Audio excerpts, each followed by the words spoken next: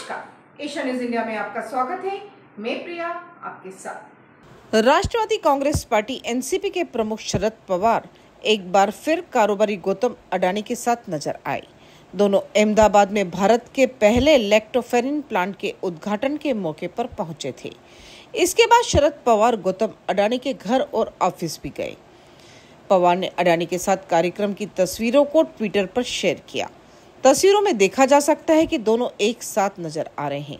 शरद पवार ने एक्स पर लिखा, भारत के पहले लेक्टोफेरिन प्लांट का गौतम अडानी के साथ उद्घाटन करना सम्मान की बात है। लेक्टोफेरिन इंसान, माँ, गाय और स्तनधारियों के दूध में पाए जाने वाला प्रोटीन है। ये लार, आंसुओं, कफ और पित्त में भी होता है। बच्चे के पैदा होने के बाद माँ के दूध में लेक्टोफेरिन की मात्रा सबसे ज़्यादा होती है।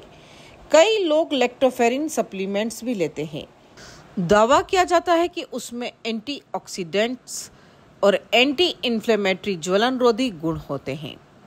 इस मुलाकात के बाद अहम बात यह है कि पवार और अडानी के बीच यह मुलाकात ऐसे समय में हुई है जब राहुल गांधी लगातार गौतम अडानी पर हमलावार है। पिछले छह महीनों में दोनों के बीच ये तीसरी मुलाकात हुई है।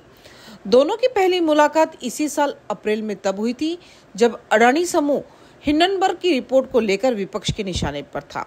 इसके बाद 2 जून 2023 को भी दोनों साथ नज़र आए थे। अब अहमदाबाद में दोनों की मुलाकात का ये तीसरा मौका है।